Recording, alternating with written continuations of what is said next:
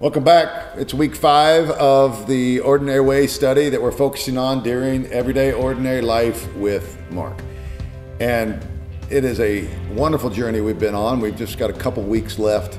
And I want to thank you for your participation in this, whether you've been doing this on your own just by reading the book or whether you've been a part of a life group along the way. I encourage you to, to stay with it, to continue uh, to pour some time into studying the material and really participating uh, with your group or really, again, if you're on your own, just digging in and trying to figure out how you can make this journey of living the ordinary way a part of your journey. And last week we talked about the ways that we can live out ordinary, even in the less than ordinary and the extraordinary ways as well.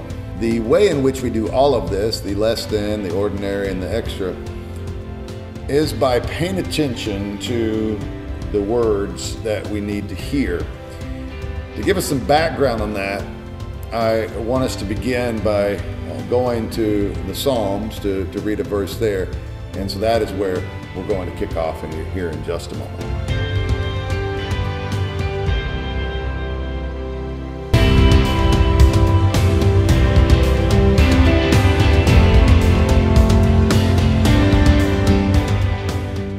We're going to be reading from Psalm Psalm 90, 119, verse 97 and 98.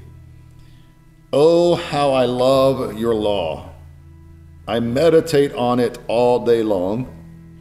Your commands are always with me and make me wiser than my enemies. And he goes on to talk about the love he has for God. And some of you know these verses in the longest psalm of the Old Testament that mainly focus upon and the psalmist's love for God's direction and his, his guidance that comes through his word. And when the psalmist referred to this, uh, he's referring mainly to the Mosaic law, the Torah, uh, the five books of the Old Testament that begin the Old Testament uh, Genesis, Exodus, Leviticus, Numbers, and Deuteronomy, these books that are pivotal to the Jewish faith and also to the Christian faith as they really set the, the guide for, for us understanding God's journey that is ultimately fulfilled through Christ. And one thing we do as those who follow the Christ who fulfills all this is to look through the lens of Christ back at all of Scripture and see how we are to understand Jesus. Now, something that we need to understand is the Bible refers to two words. And I don't mean words as in a number of words, plural words. I mean the word word is used twice in very significant ways. And just as in Psalm 119 and throughout Scripture, the Bible talks about itself as the Word of God, that the Scripture is the Word of God, one of our essentials at Rabbit Creek Church is that we believe that the scripture is the inspired word of God, the spirit breathed word of God. Uh, we understand that the Bible, therefore, is a collection of words that make up the word, the truth source from which we get our guidance from God.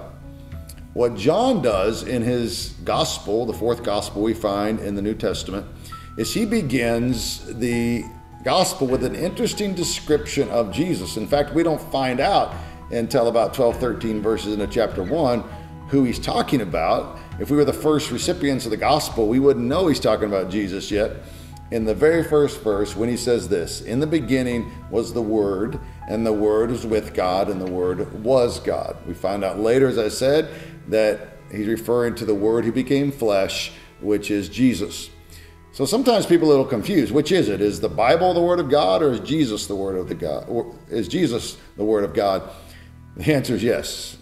That yes, the Scripture is the Word of God, and yes, Jesus is the Word, the, the Word who inspires the Word. Jesus is the one through whom all things are made, as Scripture says. And it is God breathed. Jesus is a part of that Trinitarian birth of his creation and of the Word. And so when we refer to the Word of God, we're referring to both.